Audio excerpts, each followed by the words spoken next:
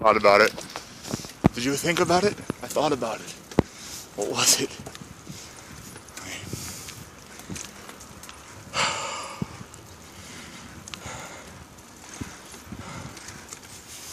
She See without your pop there, you know, I've been thinking that somehow, not really any way to tell you, but you know, I just see that how the world is like, they've forgotten about fornication and stuff like that, you know?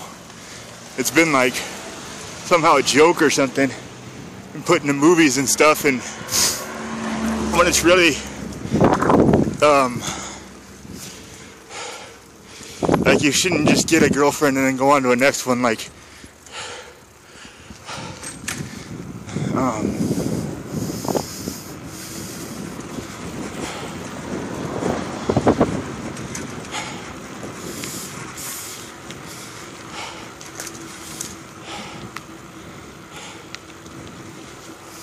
And that's the way the world would have you believe.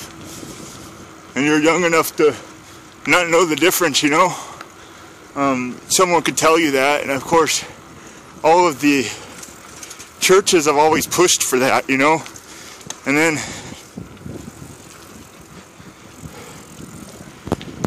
it's like the difference between holy and profane.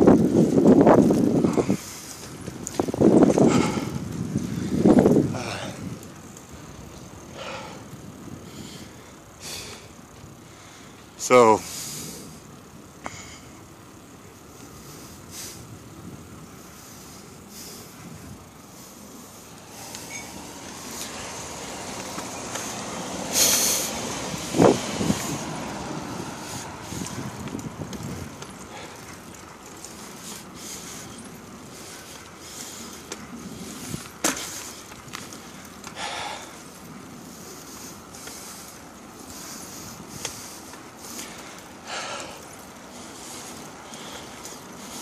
And then they blame everything on the drug users.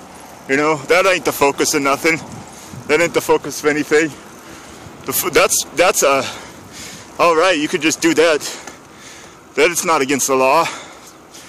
You know, there's only one law.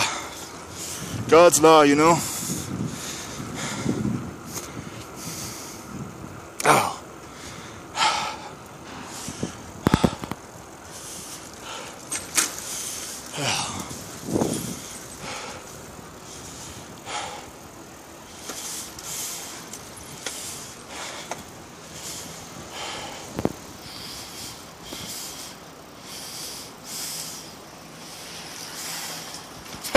How are we supposed to tell you? Through the church?